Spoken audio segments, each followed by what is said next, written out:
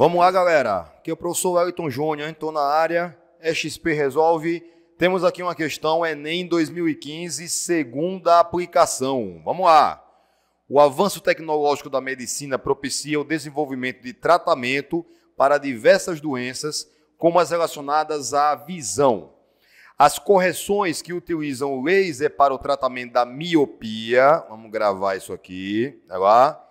São consideradas seguras até 12 dioptrias, dependendo da espessura e da curvatura da córnea.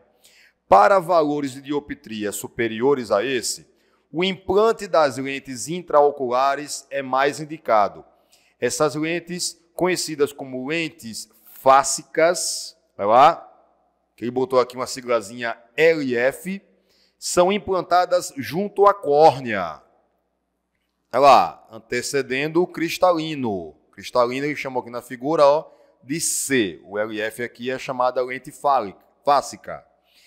Sem que esse precise ser removido, formando a imagem correta sobre a retina, no fundo do olho, né? Ó.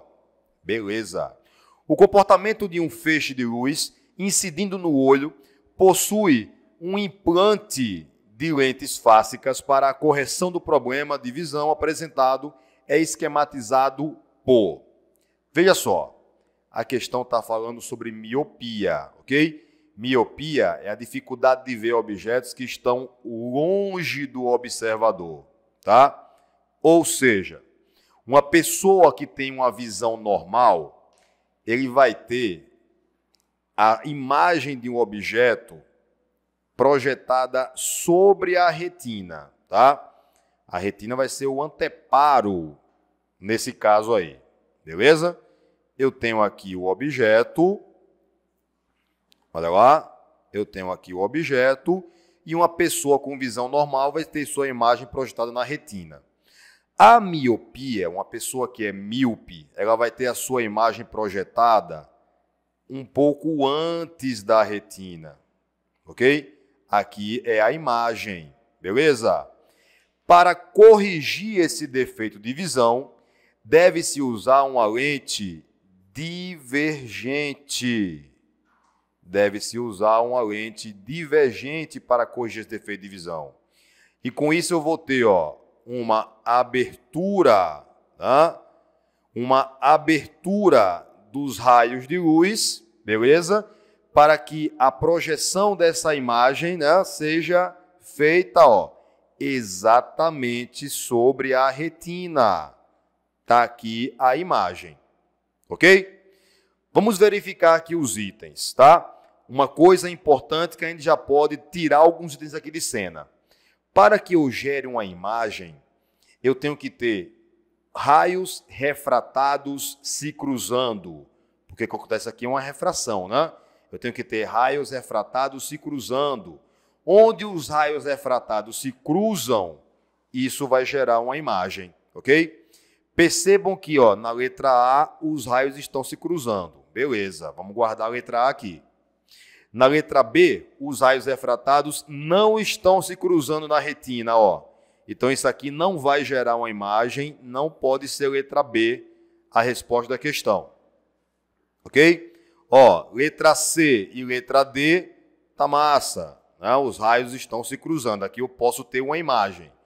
Na letra E, vejam que os raios refratados não estão se cruzando, ok? Então também não pode ser letra E a resposta.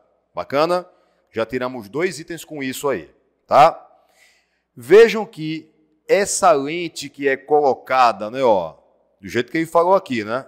Junto à córnea antecedendo o cristalino, vejam, é uma lente divergente, né? Para corrigir o problema da visão do paciente aqui, que é míope, ok? Então, quando um raio de luz passar por essa lente fásica, o que é que vai acontecer? Os raios de luz vão, ó, né? a lente divergente, claro, os raios de luz vão se divergir entre eles. Vejam na letra A que os raios ó, estão paralelos e ao passar pela lente fásica, ó, continua paralelo. Tá vendo? Que lente é essa aqui? Tá? Não é convergente e nem é divergente nesse caso, tá? Então, ó, não pode ser letra A a resposta da questão. Beleza? Vejam aqui na letra C.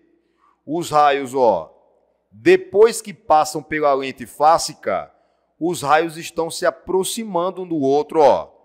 Aqui a lente fásica, ela é convergente, ok?